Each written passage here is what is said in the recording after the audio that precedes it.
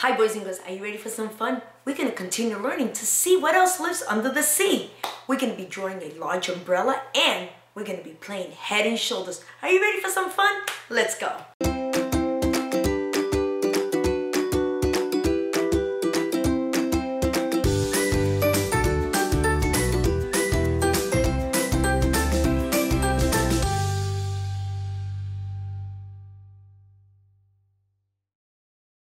Boys and girls, do you like this? We're under the sea.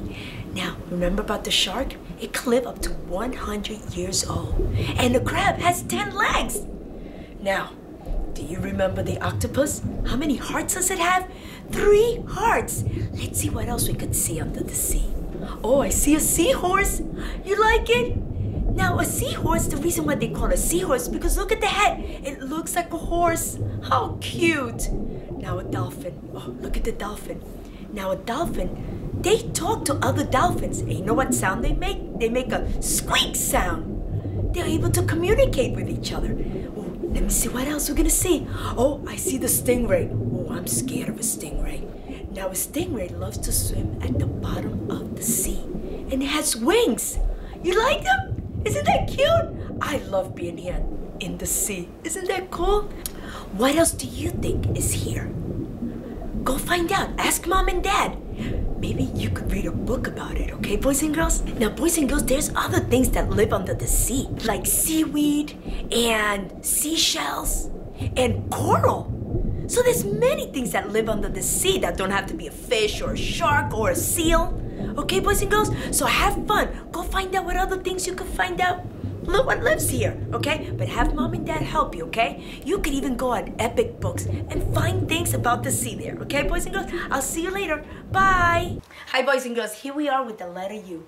Now, the letter U has two sounds. The long sound, U, which is you, and then the short sound, which is uh. Are you ready? We're gonna think of words that start with those two sounds. But first, I wanna write the letter U. Capital U, up, down, and come on down a little tail. And then the lowercase u. You're gonna start like in the middle, up, down, and a little tail. That's the letter U. First sound, let's do the long sound, which is U. Let's think of some words that start with U. Unicorn. Ah, unicorn. Starts with the letter U and has the long U sound. Let's think of another U sound for long. How about Oh, I know one. It's a unicycle. Now, let me explain to you what a unicycle is. A unicycle is like a bicycle, but it only has one tire. Isn't that cool? Now let's go to the short sounds, okay? Now the short sound for you is uh. Let's think of some words that have the sound uh. Huh, how about up, up. Yes, up. You go up. How about umbrella? Umbrella. Yes! That is really cool. Now, boys and girls, this other word starts start with the letter U. Let's see if you could think of some, okay? I'll see you later. Bye. Hi, boys and girls. Are you ready to write the letter U and draw something that starts with that letter? I'm ready. Let's go. This is what you need. You'll need your paper that says the letter U on top. Remember, it has the square and the lines. You're going to need a pencil, and markers because the markers are to draw something that starts with the letter U. And here we go. So the letter U. First line, let's do capital U. Ready? Simple. Start from the top, go around, stop right here, and make a little tail. How about if we make five U's, okay? So that's one, two, three, four, and five. I think that tail's a little too long, so I'm gonna erase it. I could fix my mistakes because of the eraser, which is really cool. Now, let's start, let's do lowercase u. Let's also do five lowercase u. Now remember, it's smaller, but it still looks the same, right? So top to bottom, around, and tail. One, two, three, four, and five. Uh-oh, that one is not touching the line. Should I do it over? Let me do it over. Erase it. Let me start again. Ooh, much better. I like it. Now, remember the two sounds that you makes. Long sound is U, short sound is uh. So are you ready? Let me think what I could draw with the letter U. I would like to do an umbrella. I think that's cool. I am going to use, oh, do, do I have a, oh, I do have a black marker. Here you go. The handle, I'm going to draw the handle first. Now the handle looks like the letter J. Look at that. Whoop. The letter J.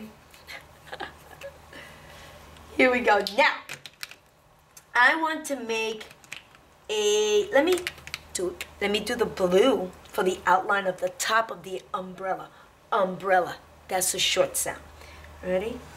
Okay. Oh, here we go. Look, my umbrella. I want to make a polka dot umbrella. So we'll use different colors. Red. Pink. Ooh, I want yellow. Yellow. Green. Let me see, let me see. Oh, brown. I don't want to miss any of the colors. Um, what am I missing? Am I missing? Uh, oh, orange. Guys, we can't miss orange. Okay. Let me see. Oh, purple. I'm using all the colors, guys.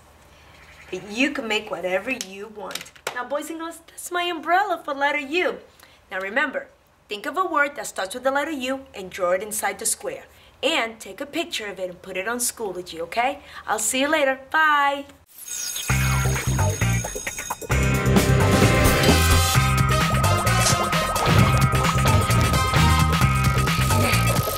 Boys and girls, are you ready for story time?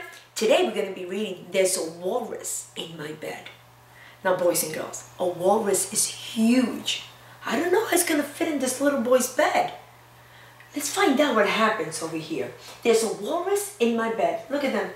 Walrus is brushing his teeth and a little boy. Flynn was very excited about sleeping in his new bed. But there was one rather large problem. Do you see the large problem that he has? The walrus on his bed. Oh boy. Mom, Dad, there's a walrus in my bed, said Flynn. You must have been dreaming, said Dad. But there really, really is. You know it's naughty to tell fibs, said Mom. Flynn sighed and went back to his bedroom. Uh-oh. Now the word fib means lies. They don't like when he lies. But he isn't. We saw the walrus. Didn't you see him? Yes. Flynn was trying to squeeze into the bed when he heard a very loud noise coming from Walrus's tummy. Rumble. Are you hungry? he asked Walrus. Humph, said Walrus. Flynn wasn't sure what walruses like to eat. He hoped it wasn't little children. Oh, I hope not. I don't think he's going to eat kids. Flynn, it's far too late for snacks, said Mom. But they're not for me. They're for Walrus. Flynn told her. Walrus ate all the snacks. He didn't seem hungry anymore. But he wasn't sleepy either. Achoo! Mm. Look at all that. Do you have a cold? Flynn asked. Humph, sniffed Walrus. Sneeze Walrus. Look at that. Ugh. Flynn got some extra blankets. Look at the blankets, guys. Look, mom and dad like, oh, what is he doing? Walrus started to get hot and cranky. Oh dear, said Flynn. You must be really sick. Huh? wheezed Walrus. Oh, he looks like he is sick. But look, he's taking, Flynn is taking care of him, listening to his heart. And he has his doctor bag here. Oh. Walrus, it, Walrus isn't feeling well. He needs a glass of milk, said Flynn. Perhaps Walrus shouldn't have eaten all those snacks, Dad muttered. After drinking the milk, Walrus had to use the bathroom. I know you're a little nervous about your new bed, said Mom. But isn't it way past your bedtime? It's not me who won't go to sleep, grumbled Flynn. It's Walrus. They're not believing him. and look, he's right there on the door. Oh, look at Flynn singing to him. Okay, Walrus, that's enough messing around, said Flynn. I'm going to sing you to sleep. Huh? said Walrus, who still looked wide awake. Look up, he is wide awake. Look at him. Look at that. He's like, oh my gosh, all this sound.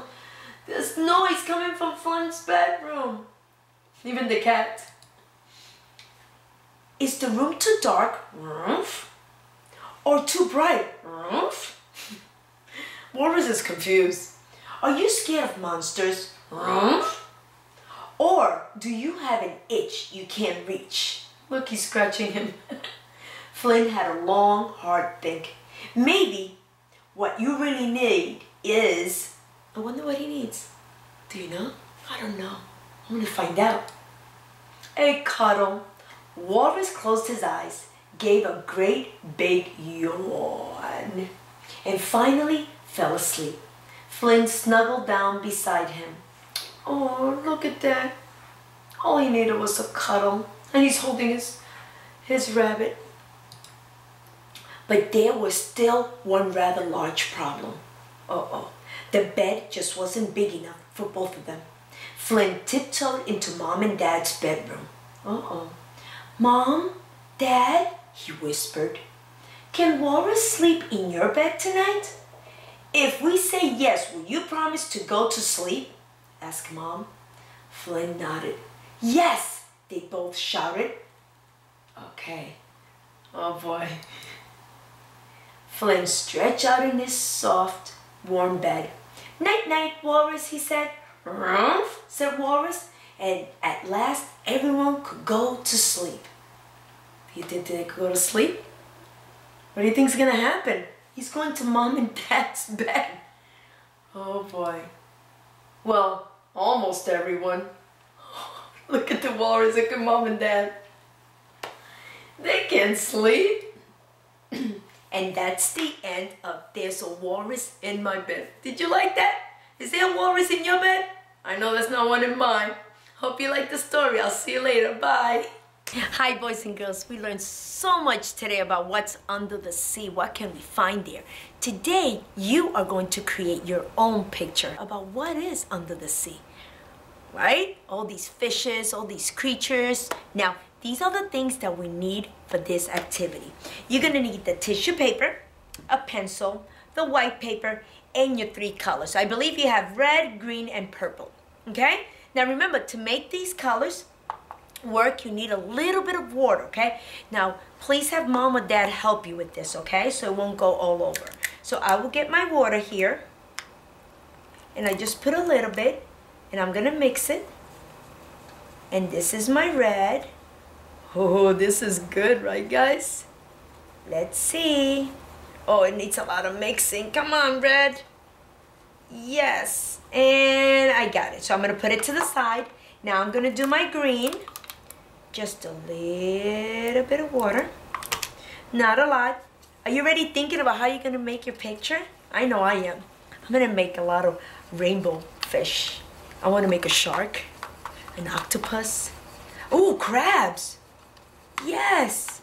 I'm going to make all that. Okay, it's mixing, mixing, mixing.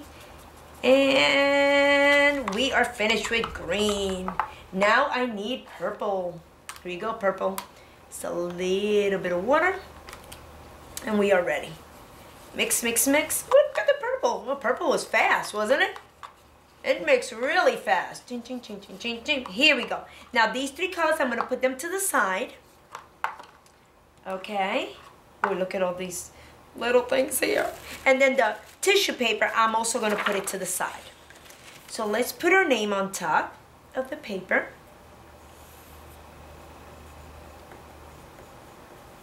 Okay, here we go. That's my name. And here we go. You ready? I'm excited because I'm already thinking of what I want to do. Now, at the bottom of the ocean, well, no. Now, at the bottom of the sea, there's seaweed. And it looks like grass, but it lives under the sea. And this is where the tissue paper comes in. So I'm going to cut strips. Oh, I forgot we need scissors too. I'm sorry, guys, but I forgot. We also need scissors, and we're going to cut them into strips. It could be thick, it could be thin, however you want. It could be as many as you want. This is how many I'm gonna cut. Okay? And then we are going to put them to the side. Oh, tissue paper is so hard to pick up, guys. Look, it didn't want to. Guess what we also need? Miss Figueroa's been forgetting a lot of things. Glue. Come on. Is that I was thinking about the paint and I want to color? Well, I want to paint because it's paint. So I'm going to put strip lines here. So I could put the seaweed, my pretend seaweed here. Look, I got one here. And then another one there. Oh, wait a minute. And another one. Yes, you like it? Okay, let me put more. Hold on, I still have more. Still have more. Oh, I want to put a blue one. Yes. And another blue one. And I need one more. Oh, I think I'm going to pick yellow because there's only one yellow here. So let me put one right here. You like it? That's under the sea. Yeah. Okay, now I'm going to draw some fish. Mm, I can't wait. Okay, I'm gonna start with green. Let me mix it a little bit more. And here we go. Oh, let me see the fish. I'm gonna try my best. Oh, look guys. I did one fish. Ah. Now, let me do red. I think I'm gonna make a, a puffy fish. Now, puffy fish should be round, right? And it has all these spiky things and look at his eye right. Does that look like a fish? I think it does, but I don't know. I tried my best. Now I'm gonna do a purple fish. Let me see. Maybe this will be a long fish. Oh, do you like it? I love it. Oh, wait, I didn't do a mouth. Oh, try to, This paintbrush is a little too thick. Okay, now how about if we do an octopus? Well, I want to make an octopus. You could do whatever you want under the sea. Whatever you want. Now, an octopus will be like this. And it has eight legs. One, two, three, four, five, six, seven, and eight. Eight legs. Smiley face. Ooh. How about if we put some fish hiding underneath here? Like hiding from other fish. Ooh, hide. Maybe the shark is coming. Oh, I'm trying, I'm trying, I'm trying, I'm trying. Oh, I love it. Oh, you know what I want? I want some waves. I think I'm gonna put purple waves. Like, you know, we're under the sea. Yeah. Look at the waves here. Oh my goodness, I love it. How about some corals in here? Ooh. Corals look like rocks, right? Look. I love it. Guys, I hope yours turns out really cool and I know it will. So boys and girls, make sure that mom and dad takes a picture of this and put it on Schoology so I could see your wonderful picture, okay? I'll see you later. Bye.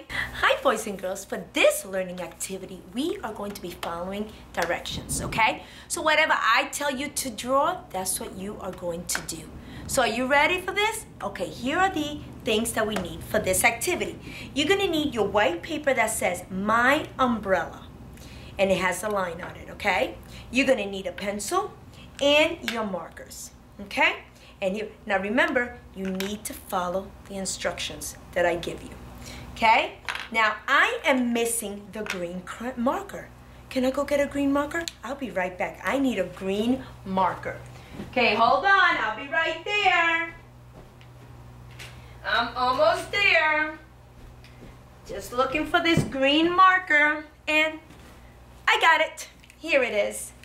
Found my green marker. And here we go. Remember, you cannot do whatever you want. You need to follow the directions that Miss Figueroa is going to give you. Here we go. First thing you I want you to do, I want you to draw yourself in the middle of this paper. So I'm going to use a pencil. I'm going to draw myself. This is me. Big smile, my hair. So remember, you're gonna draw yourself. And then I think I'm gonna put myself in a dress, my legs, and my arms up in the up in the air. I would like you to draw your hands up in the air because we're gonna do something else with with our hands. Okay? You got it? That's me. Oh, you know what I forgot? To write my name. Oh boy. I would like everyone to know it's mine, right? So I have my name and myself. Now, I want you to put some grass at the bottom of your paper. But I want you to use a green crayon. I mean, sorry. I want you to use a green marker. And here we go. Put some grass at the bottom. Good job. Good. Put my cap back on. Now I would like you to draw um, three flowers, okay? And I want you to use a pink marker, okay? Three flowers. One, two, three. Put a dot in the middle. Okay. So the instructions was, this is the beginning. I drew myself, you're gonna draw yourself. I did the grass, it was green, and I did the flowers, and they're pink. Okay, now, I, we're going to draw an umbrella. Now this umbrella has to be really big because I want everything to go under the umbrella. Starts with the letter U. Umbrella, umbrella, and under. So everything's gonna go under the umbrella. But this umbrella has to be huge. Now watch it. I'm gonna pick the orange marker. If you do not have markers at home, you could use crayons, but these are the colors that you need to use, okay? So I'm gonna get the orange marker and watch this. So I'm gonna draw a handle here. I'm holding the handle of the umbrella and I'm gonna draw a huge umbrella. It has to cover all these. Oh, uh-oh. Oh, that's a big umbrella. My umbrella is really big because it's covering things at the bottom. So it's covering things that are under the umbrella. Now let me see what else I could draw and I want you to draw too. How about birds under the umbrella? And I'm gonna use purple this time, purple. So I'm gonna do some birds. Well, how about five birds? So we have one, two, three, four, five. Five birds under the umbrella. Do you like it? I love it. Now remember, this is a learning activity, so you need to follow Miss Figueroa's instructions. So remember, you're gonna draw yourself in the middle of the paper. You're gonna do some green grass, three pink flowers, five birds, and a huge umbrella because everything is under the umbrella. Did you like it?